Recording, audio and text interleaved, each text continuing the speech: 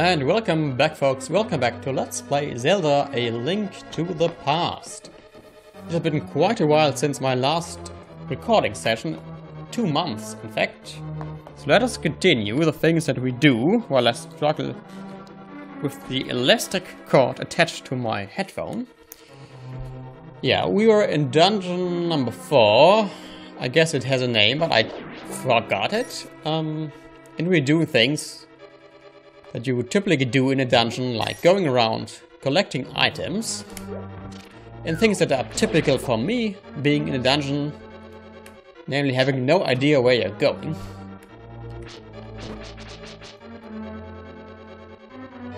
Uh, yeah, and I'm... And I got turned into a bunny, hooray. No, I got unturned into a bunny. Yeah, I don't quite know where I'm going here. I guess uh, I should check the map. Okay, we should probably go to the left. Hmm. It seems that we need a key, but I don't think that we have the key that is necessary to open this door. Probably, yeah. We need the big key. Ugh. Almost got hit.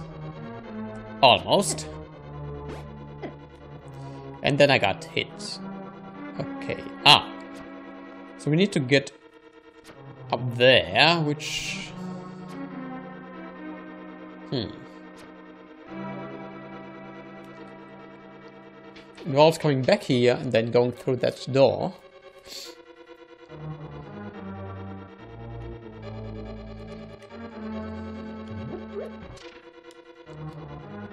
Yeah, I remember this room very vaguely. Uh, yeah, there's not much that we can do here. I don't suppose we can use the hook shot. No. Can't use the hook shot, so we are probably meant to go find another way into that room. Which probably involves getting the big key first. Okay, I think we should then proceed. Uh, down. By the looks of this map. Let us go down. And not in the sense that you think I said it.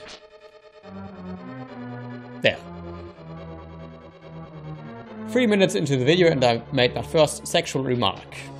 That didn't take very long, did it? Okay. Does this crate contain a key by any? No. But it contains the compass, which means that we now know where the master is, and he is in fact on the first floor. Which is quite unusual, because I think up until now the master has always been on the lowest floor. Or more, more or less. Uh, is this a new... No, that's just leads back to somewhere where, where we have been before. Let us grab that heart and that magic. Uh,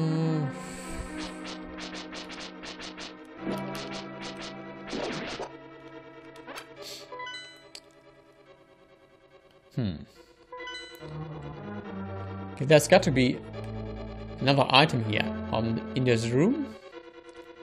There should be a key in here. Of course, if, it, if it's not in here, I don't... Hmm. I don't know where it could be.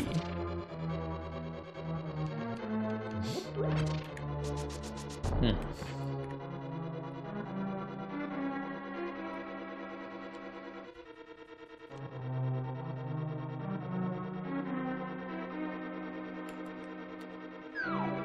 Yeah, and then I got turned into a bunny because I didn't see that swirly... swirly swirl of light. And I'm almost dead, in fact. Which is not very good. Being almost dead is not very good. Although it is certainly better than being dead.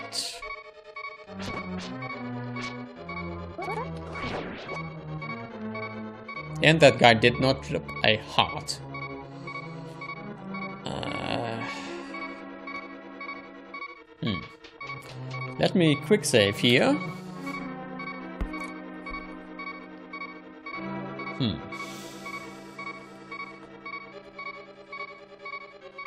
Then let us actually go back. Ah, there's a crate which contains the big key. Yes. Quick save and... Yeah, then we should try to maneuver, maneuver carefully uh, through this area back to... Yeah. And by carefully I meant precisely avoiding that. Really can't imagine me playing this game without quick saving and quick loading. I mean, this would... This must take forever. Yeah. But I guess that's the point. So, yeah, this mechanic is clearly supposed to maximize playing time. Yeah. Okay. Get lost.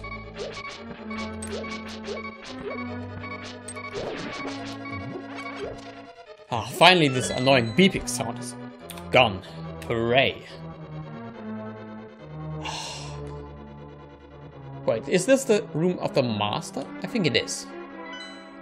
Yes, that's the room of the master. The master's not here yet. Which probably means that we have to flip a switch or something like that. And that health does not respawn, of course, because that would be too cheap. Ah, uh, hmm. I have an idea. Let's quick save. Let us test my idea. My idea was not correct. The idea being that, um, okay, we've seen that already several times that the door to the master was blocked by some unlit um, lights. Now my idea was that maybe here you should, yeah, put out these lights in order to summon the master, but apparently that is not what you do. And now we enter that room containing bombs Things I can push. Maybe. Can I push you? No. I don't think so. hmm. What's the bloody point of this room?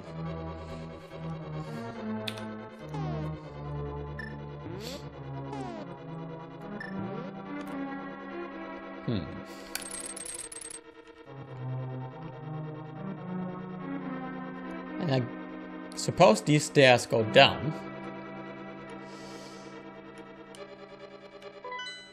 Uh, hmm. Well, maybe.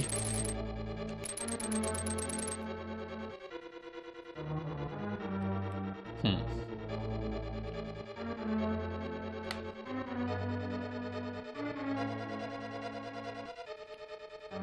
Yeah. Yeah. Let's, yeah. Let's go there first. And get hit in the progress. In the process, not in the progress. yeah.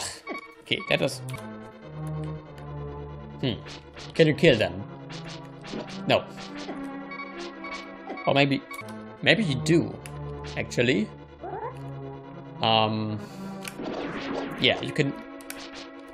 Ah, you can kill some of them. You can kill those uh, which, yeah, which don't have the white thing in the middle, but only, but only when they are not protected by the cloud. Yeah. And then, uh, okay, let us not waste. Uh, let us stop doing that. By we, I mean I.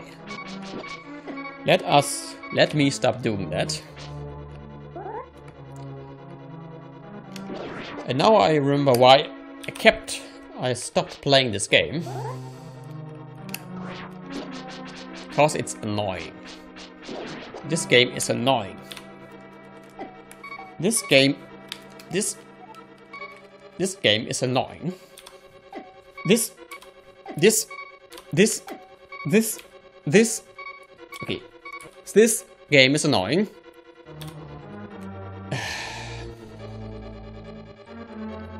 yeah. Ugh. This game is annoying. As you can plainly see. Okay, don't say that. I hope you are not thinking what I'm thinking.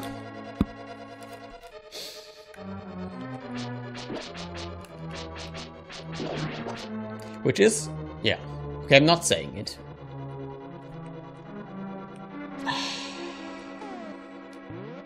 Okay, we need to... Hmm. Yeah, we need to toggle this uh, blue... Blue-yellow state thingy. Mabob. And I completely forgot how you do that. I think you need to step on... Need to step on this thing? No. Uh... Ah, no. Okay, how do you... Hmm. I actually forgot how you do that.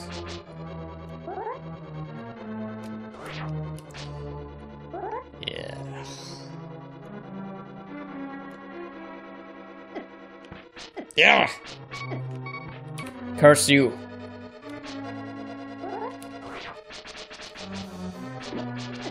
Ugh.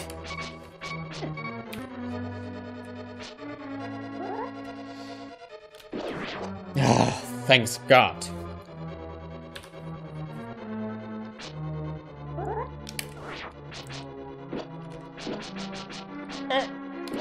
Yeah. Okay, two down. Yes, and I'm completely abusing the quick save mechanic. That is because I'm horrible at this game. Ah, that's the thing that you need to press in order to flip the state.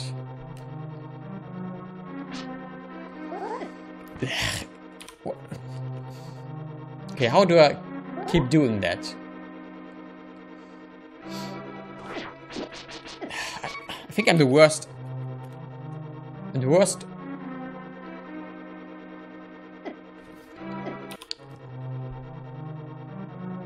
I think I'm the worst Zelda A Link to the Past player in the history of Zelda A Link to the Past.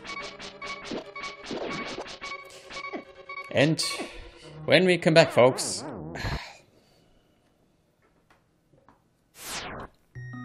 yeah, I will probably continue to be the worst, world's worst player at Zelda A Link to the Past. So until next time, folks, until then.